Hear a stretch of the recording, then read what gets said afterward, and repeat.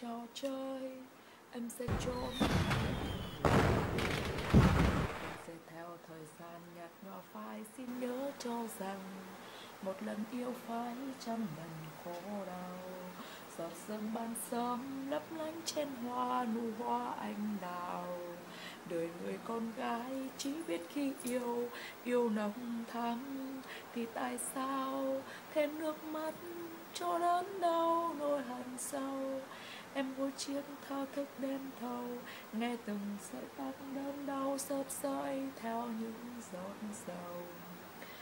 Mình dìu nhau đi đến bên tình yêu, vòng tay khát khao bao ân tình.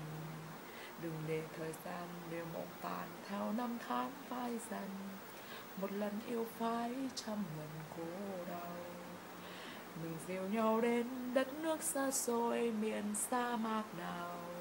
Và rồi nơi đó chỉ có uyên ương, xây tổ ấm.